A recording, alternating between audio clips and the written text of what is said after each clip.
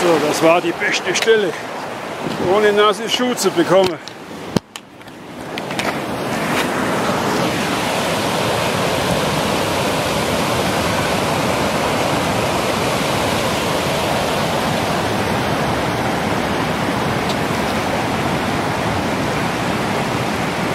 Oh, vergelbt.